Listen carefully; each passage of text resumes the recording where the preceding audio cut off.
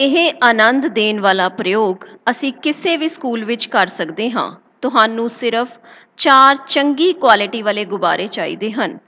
ਇੱਕ ਲੱਕੜੀ ਦਾ ਤਖਤਾ ਤੇ ਕੁਝ ਇੱਟਾਂ। ਹੁਣ ਤੁਸੀਂ ਚਾਰ ਭਾਰੇ ਗੁਬਾਰੇ ਵਿੱਚੋਂ ਇੱਕੋ ਜਿਹੀ ਹਵਾ ਭਰ ਲਵੋ। ਉਹਨਾਂ ਨੂੰ ਉੱਪਰੋਂ ਬੰਦ ਕਰ ਦਵੋ। ਹੁਣ ਉਹਨਾਂ ਨੂੰ ਸਾਫ਼ ਥਾਂ ਤੇ ਰੱਖੋ। ਲੱਕੜੀ ਦੇ ਤਖਤੇ ਦੇ ਇੱਕ ਪਾਸੇ ਫੋਮ ਲਾ ਦਿਓ। ਫੋਮ ਵਾਲੇ ਪਾਸੇ ਗੁਬਾਰੇ ਲਾਓ। ਤਾਂ ਜੋ ਤਿੱਖੀ ਚੀਜ਼ ਗੁਬਾਰੇ ਨੂੰ ਚੁੱਭੇ ਨਾ। ਤੁਸੀਂ ਇਸ ਦੇ ਭਾਰ ਦੀ ਸ਼ਮਤਾ ਨੂੰ ਦੇਖਣ ਲਈ ਇੱਟਾਂ ਗੁਬਾਰੇ ਉੱਪਰ ਰੱਖ ਦਿਓ।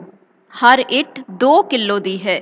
ਹੁਣ ਆਪਾਂ ਕਈ ਇੱਟਾਂ ਇਹਨਾਂ ਗੁਬਾਰਿਆਂ ਵਾਲੇ ਬੈਂਚਾਂ ਤੇ ਰੱਖ ਦਵਾਂਗੇ।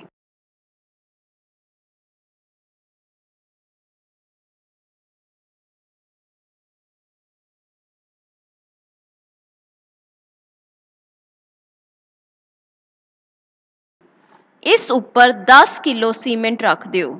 ਸਹੀ ਅਰਥਾਂ ਵਿੱਚ ਇਹ ਗੁਬਾਰੇ ਦਾ ਬੈਂਚ ਇਸ ਹੱਦ ਤੱਕ ਮਜ਼ਬੂਤ ਹੋ ਗਿਆ ਹੈ ਕਿ ਇਹ 40 ਕਿਲੋ ਭਾਰ ਤੱਕ ਦੇ ਬੱਚੇ ਨੂੰ ਝੇਲ ਸਕਦਾ ਹੈ।